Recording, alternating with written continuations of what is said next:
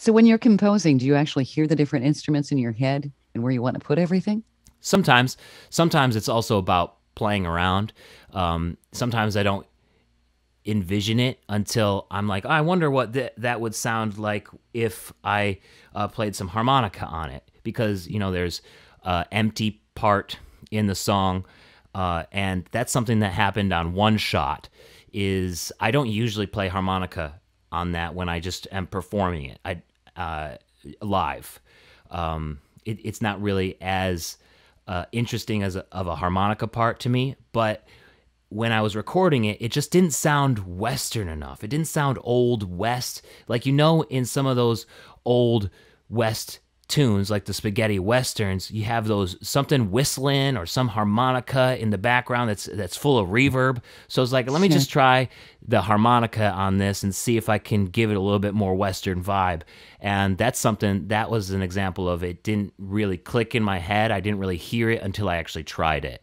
Uh, I tried to whistle and record it, but whistling is really hard to do and make it sound good. You know, what I what I think is neat, the ballads that you have, I think they were more common like in the 60s. And of course, like you're talking about the spaghetti westerns with Clint Eastwood and that sort of thing.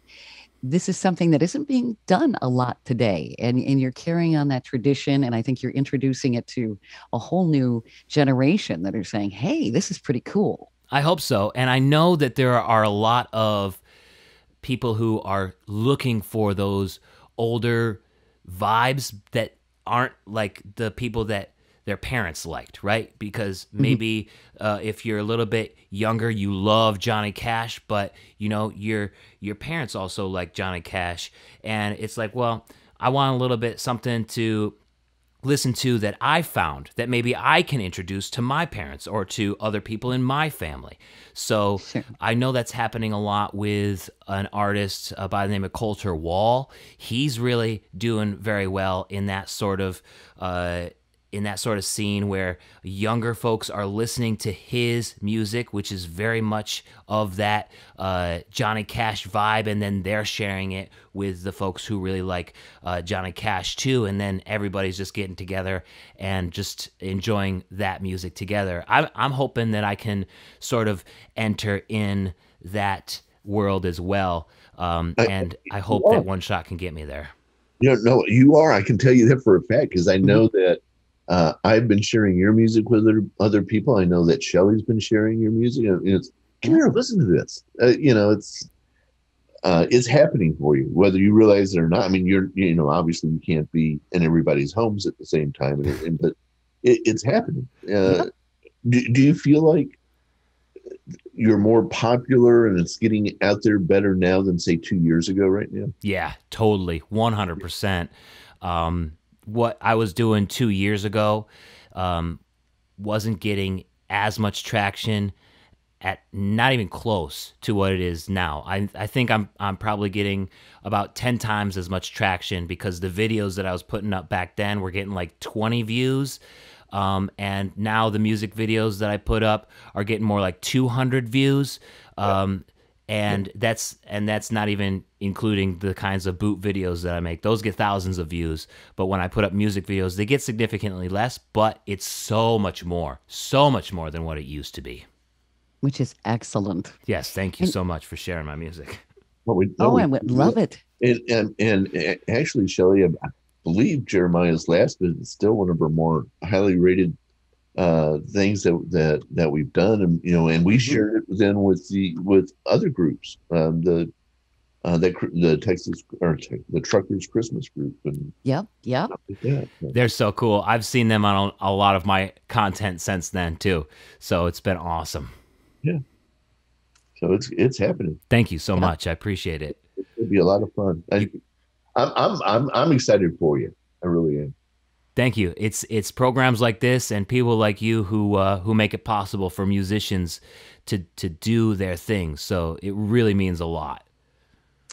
Well, and I love to introduce uh, new genres and things that are not being done in the mainstream, because music is is all about variety, and and that's what makes it so rich and wonderful.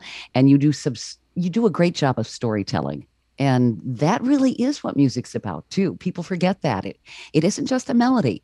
It's the message and the lyric and and you've got a great storytelling ability. Thank you. Thank you. I agree. I always like to also think about uh, John Denver too, because he was so Mhm. Yeah, good at yeah. that. That's a good one. Yeah. Yeah. You know, because he made you feel when he told a story that you were actually home, even if you're not from West Virginia. People in Germany love, uh, you know, the "Take Me Home, Country Roads" song, but Sure, they've probably yeah. never even set foot there. But they they absolutely love it and they feel like it's home. You know, there's a sci-fi movie that the whole key to the movie to get somebody to, to move from one place to another was they were playing "Take Me Home, West Virginia."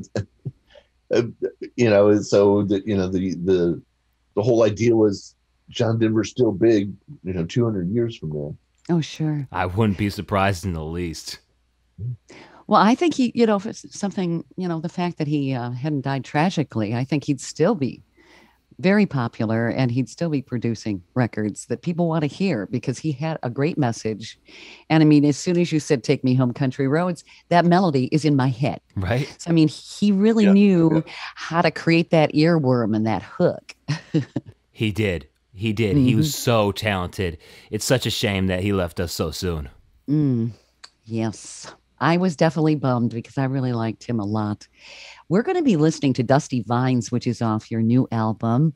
Uh, if you want to tell us a little bit more about that, I know you kind of touched on it uh, earlier in our last segment, but um, Yes. for those who may have just tuned in, Yeah, this is a song that I wrote about the wine that they make in Arizona. When you think about Arizona, you don't think that they're uh, making any wines in the middle of the desert, but yeah, they I would never think of that. yeah, right. And they are, but and it's really good too because the fruit has to struggle and it brings something really interesting to the wine and how it tastes, especially the Syrah. I love Arizona Syrah. I think it's the best varietal coming out of that state.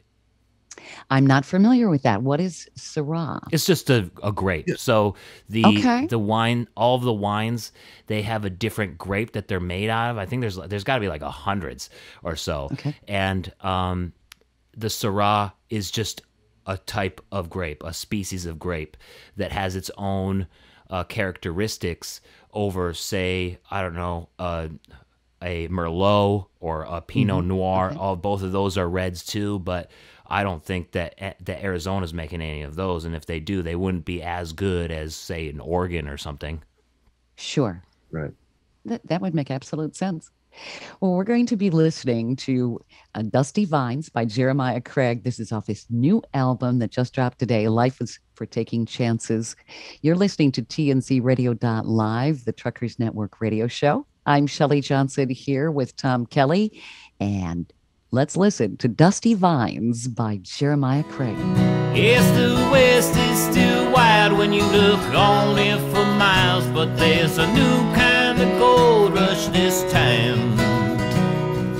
Bringing the riches straight to your lips. It's the wine from these dusty vines.